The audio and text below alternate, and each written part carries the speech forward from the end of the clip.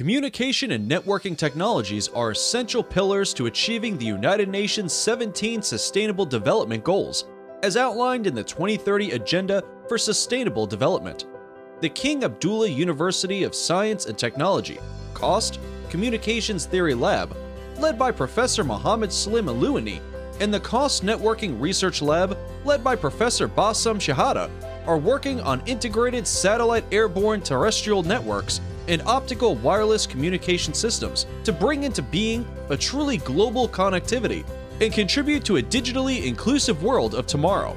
Their 6G research focuses on reducing the digital divide between underconnected and hyper-digitalized regions with particular attention to rural and remote areas, as well as urban low-income neighborhoods, or in case of global emergencies, such as the outbreak of coronaviruses. This approach is expected to reduce inequalities in several social, educational, health, and economic fields, but also to create new business and commercial opportunities. The new global connectivity revolution will bring about a multitude of technological advances, many of which we cannot even envisage yet.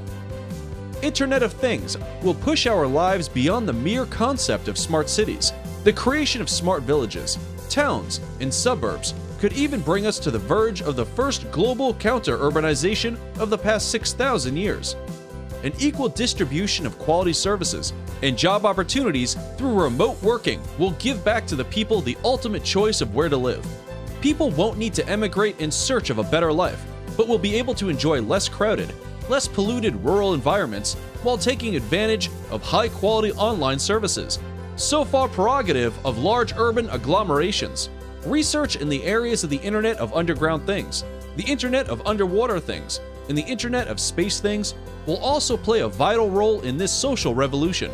Together with 6G global connectivity and sensor technologies, they will offer global data for monitoring climate change, supporting remote forest and mountain ecosystem, improving cost efficiency and food safety control, studying of marine ecosystems, monitoring underwater oil rigs, tapping new natural resources, and much more. The Computer, Electrical, and Mathematical Sciences and Engineering Division of KAUST is working hard to connect the unconnected and create an equal world for all.